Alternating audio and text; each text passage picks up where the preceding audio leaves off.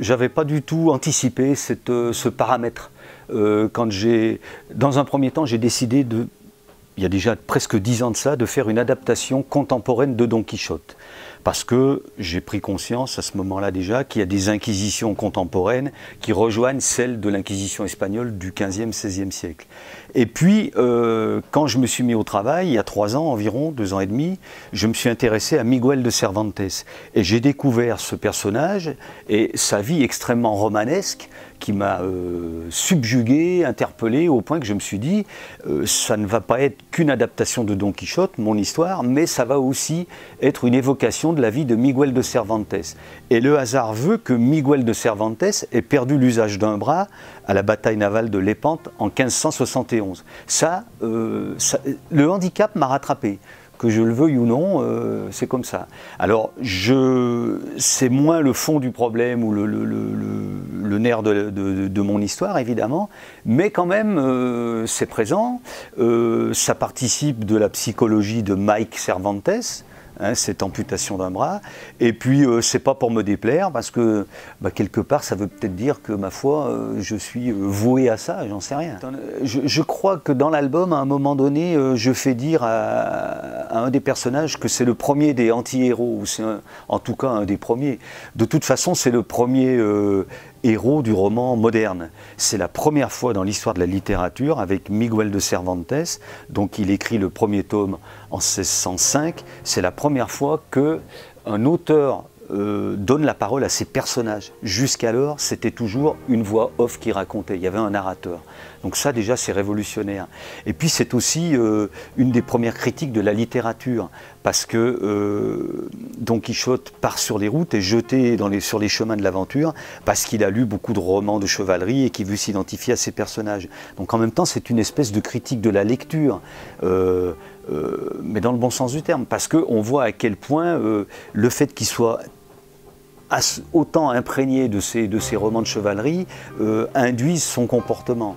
En même temps, euh, il y a une allusion aussi euh, très claire au pouvoir de la littérature, parce que tous ces romans de chevalerie, à l'époque de l'Inquisition, sont très mal vus par les curés. Et euh, Don Quichotte euh, euh, part de chez lui aussi chasser l'aventure, ou mettre ça en application, parce que le, curé du Patelin a brûlé ses livres, ou en tout cas une partie de ses livres.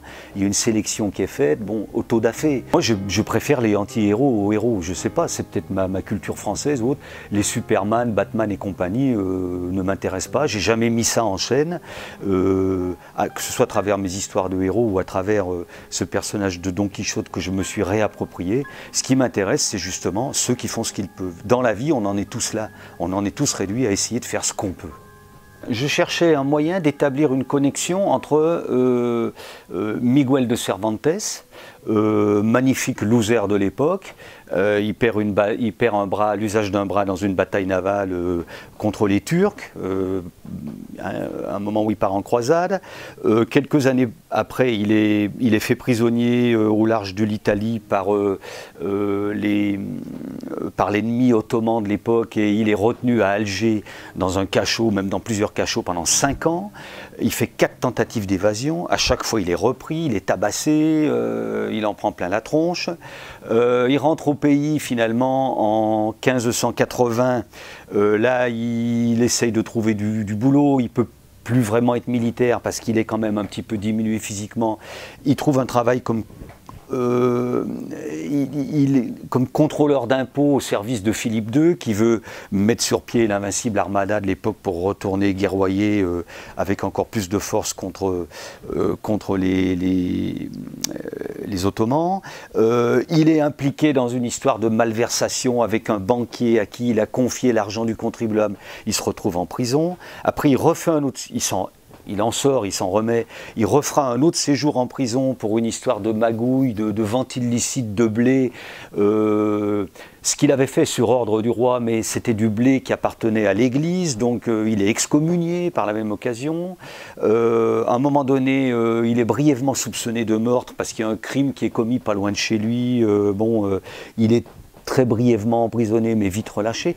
Bon, euh, il a vécu dans une relative misère, euh, il a eu des déboires conjugaux, euh, il publie son Don Quichotte en 1605, avant qu'il ne publie le tome 2 dix ans après, il est plagié. bon, il publie le tome 2 de Don Quichotte en 1615, il y a pile 400 ans et euh, il meurt euh, six mois après. Voilà, bon, si ça, c'est pas une vie de loser et de misérable, euh, à, la limite, à un moment donné, je me suis dit, mais finalement, il faut peut-être mieux écrire, peut-être mettre en scène ou dessiner la vie de Miguel de Cervantes que de faire un Don Quichotte. Mais en même temps, je voulais d'un Don Quichotte contemporain. Hein. Et Don Quichotte, finalement, c'est le double de papier de Miguel de Cervantes. Donc j'ai eu recours à un Cervantes contemporain à qui il arriverait à peu près la même chose et qui pourrait se transformer en Don Quichotte. Il ne réécrit pas Don Quichotte. Don Quichotte a déjà été écrit. Mais finalement, il en, il en endosse le rôle, quoi, ce qui est, une certaine façon euh, de faire un remake de, Don Quichotte. Mon Mike Cervantes revient euh, de ses croisades contemporaines en Afghanistan, mutilé et quand même un peu, dérangé, comme beaucoup de ces, de ces vétérans des guerres américaines. Et puis à un moment donné, ben, euh, voilà, il pète les plombs, il passe à l'acte et il se transforme en Don Quichotte qui part sur les, les routes d'Amérique pour essayer de, ben, de combattre les injustices contemporaines. Il y avait aussi ce, ce, désir de déstabiliser un peu le lecteur. Euh, de toute façon, Don Quichotte, le personnage de Don Quichotte est un personnage déstabilisant. Euh, il, est, il est dans la folie, Don Quichotte. C'est l'éloge de la folie, Don Quichotte, quelque part. Hein. Euh, Erasme a écrit l'éloge de la folie presque 100 ans avant Don Quichotte, hein, qui sont des, des l'éloge de la folie, c'est des scénettes euh, satiriques sur euh, certains milieux sociaux de l'époque, notamment contre le clergé, qui en prend, qui en prend plein la tronche.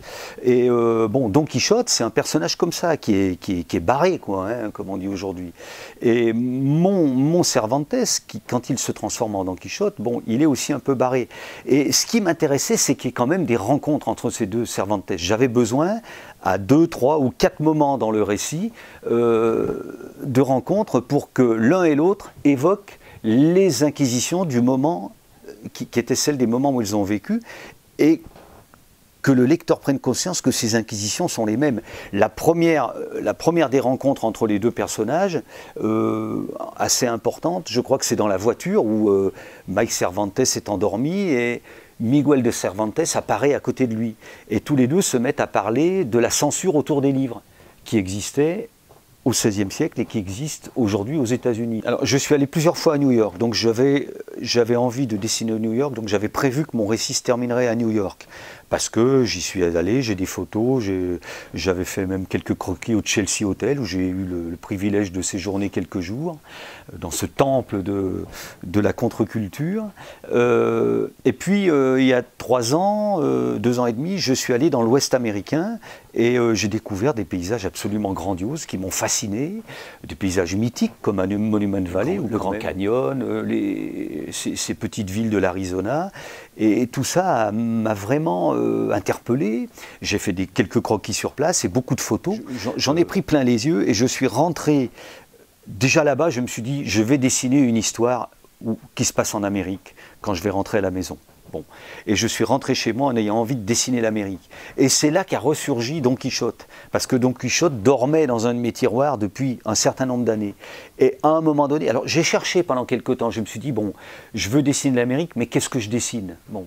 Et puis Don Quichotte est revenu me tirer par la manche. Et je me suis dit, ben voilà, mon Don Quichotte que je voulais contemporain, je vais l'installer en Amérique. Après tout, au départ, j'avais peut-être imaginé en faire un français, mais finalement, ça se, ça se, prêtait très bien d'en faire un américain, parce qu'il y a ce côté... Euh, euh, cette exacerbation américaine de la société ultralibérale. Je pense que quand on adapte Don Quichotte, euh, qui est euh, une somme euh, de 1800 pages, c'est deux pavés de 900 pages, Don Quichotte, on ne peut pas faire un bouquin de 46 pages.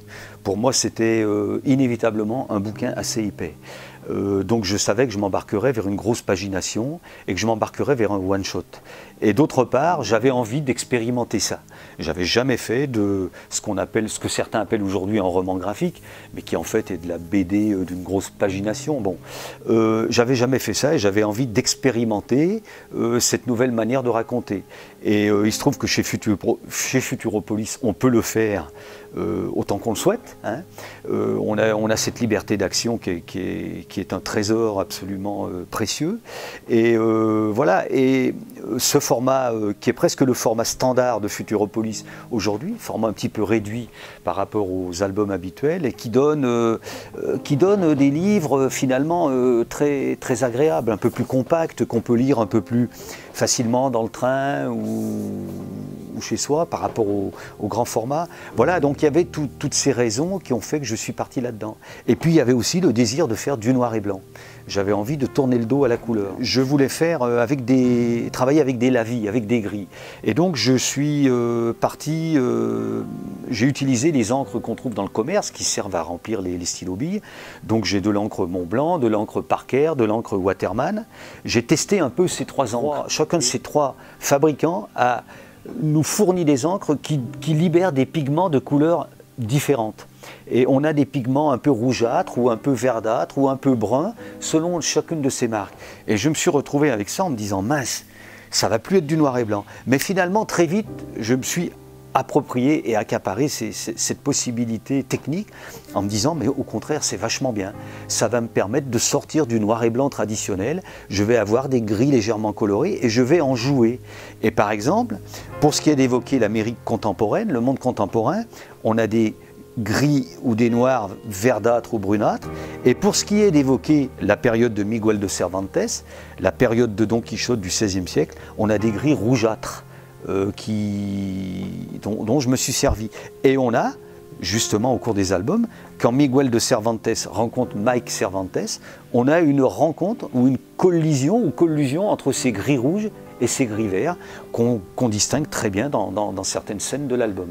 Voilà, j'ai rebondi euh, de manière heureuse, je, l'espère ou je le suppose, avec ces contraintes techniques.